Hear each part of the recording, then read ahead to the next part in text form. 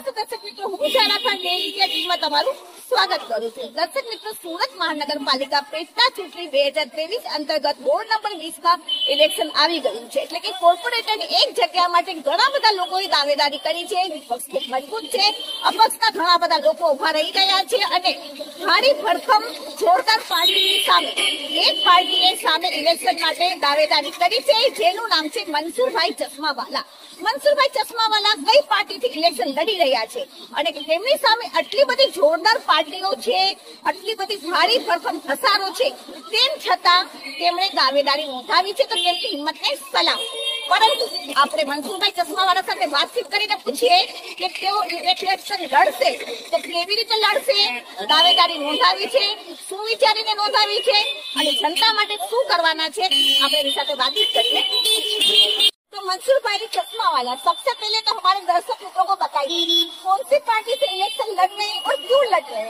मैं, मेरे सभी दर्शक मित्रों को वार्ड नंबर 20 के सभी मतदाताओं को हटोदरा मजुरा संग्रामपुरा के सभी जनता को एक नम्र विनती करता हूँ कि मैंने वार्ड नंबर 20 के अंदर एका इलेक्शन के अंदर भाग लिया है और समाजवादी पार्टी का मैं उम्मीदवार हूँ और मैं सबसे अपील करता हूँ कि कई लोगों को बहुत तकलीफ़ है, जो तकलीफ़ का निराकरण किसी भी व्यक्ति से आया नहीं है तो वो निराकरण करने के लिए मैं इलेक्शन में उतरा हूँ। और भारी से भारी बहुमत से जीतने की आशा व्यक्त करता हूँ।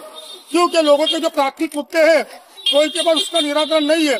तो मैं मतदाताओं से विनती करूँगा कि आप मुझे एक बार विजय बनाए समाजवादी पार्टी के मज़बूत उम्मीदवार को विजय बनाए। मेरा निशान है साइकिल और मेरा नंबर है दो है। दो आने वाली छह तारीख को ज़्यादा से ज़्यादा बहुमति लेकर मुझे विजय बनाए। हाँ सर आप कौन कौन से मुद्दे लेके चलने वाले हैं? जो भी मुद्दे है मेरा आपने ये जो पैम्पलेट पढ़ा है इसके अंदर मेरा सबसे बड़ा मुद्दा ये है कि लड़ेंगे नहीं तो जीतेंगे कैसे? और हर कदम जनादेश की ओर।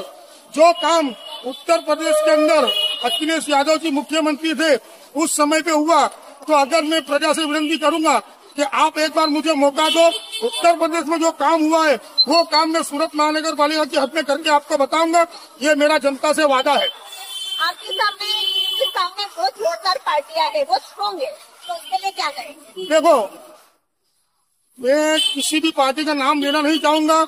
मेरी टक्कर है, शासक पार्टी से मेरी टक्कर है, भारतीय जनता पार्टी से मेरी टक्कर है।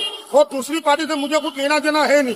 जो भी पार्टी आई, अभी इससे पहले इलेक्शन हुआ 2021 के अंदर तो आम आदमी पार्टी की सत्ताईस सीट जीती थी। उसमें से सत्रह बीजेपी में विलीन हो गई तो लोग भरोसा करेंगे किस पे? दूसरे जो महानुभव है, उनके ऊपर कोई विश्वास नहीं करता है। तो मैं जनता से अपील करूँगा कि एक बार समाजवादी पार्टी के उम्मीदवार को वोट दे और विजय बनाए। आप कितनी सारी सामाजिक सेवाएँ भी करते हैं। Yes. आगे कौन कौन सी सेवाएँ करने वाले। अगर मैं इलेक्शन हारूं या जीतू उसका मुझे कोई अफसोस नहीं है। मैं हारूँगा तो भी लोगों के काम करूँगा और जीतूँगा तो भी लोगों के काम करूँगा। आपसे लोगों को क्या कहना चाहिए? बस मैं लोगों से एक नम्र विनती करूँगा कि सबको देखा बारी बारी। अब है मनसुख चश्मा वाला की बारी। आने वाली छह तारीख को वार्ड नंबर 20 के मतदाताओं से विनती करूँगा कि छह तारीख के दिन ज़्यादा से ज़्यादा वोट देकर मुझे विजय बनाए। जय हिंद जय भारत जय